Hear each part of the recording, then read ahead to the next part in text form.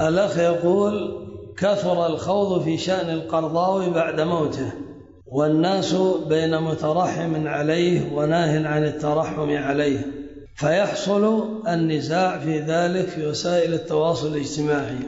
القرضاوي ضال ومات ولم يمت ضلاله بل ضلاله في منشورات ومؤلفات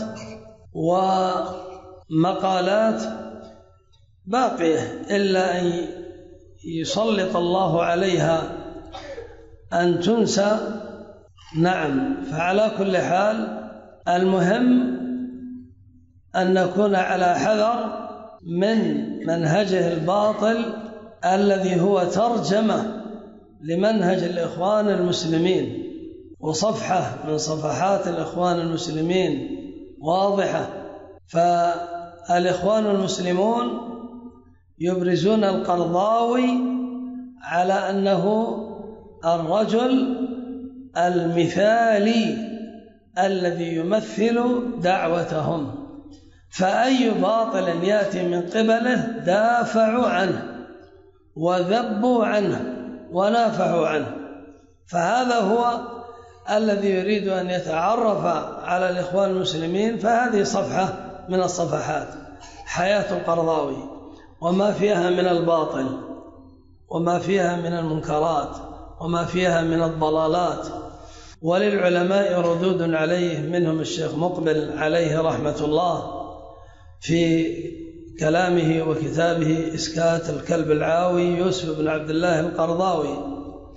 نعم وكان بسبب مدحه لإسرائيل أن عندهم عدل في الانتخابات وأنهم يفوزون بدون غش وأن حكام المسلمين يفوزون في الانتخابات بأربع تسعات وخمس تسعات.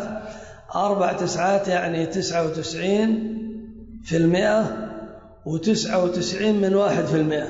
الواحد في المئة هذا أيضا تسعة وتسعين منه يقول هذه النسبة التي يفوز بها حكام العرب لو عرض الله نفسه على الخلق ما وجدها.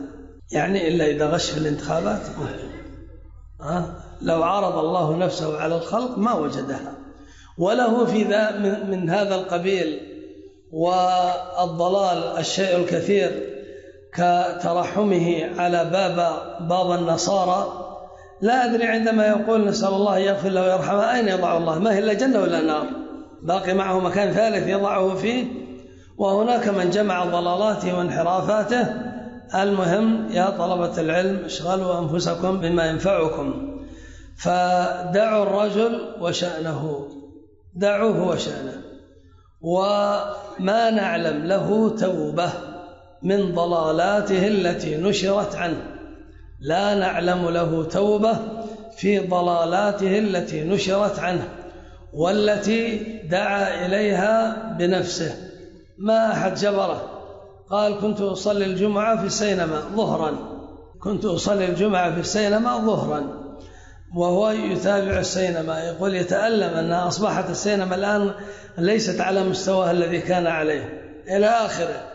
فأشياء ستضحك منها وتتعجب وأشياء ستستغرب من الجرأة فيها آه، من تلك الضلالات التي ظهرت عنه فعلى كل حال لا تشغلوا أنفسكم به. يعني أنت مشغول تريد تترحم ترحم على البخاري ومسلم ترحم على ابن باز وابن عثيمين والفوز والحيدان وغيرهم من الشيخ مقبل الألباني. ترحم على علماء المسلمين. لا تشغل نفسك بالقرضاوي.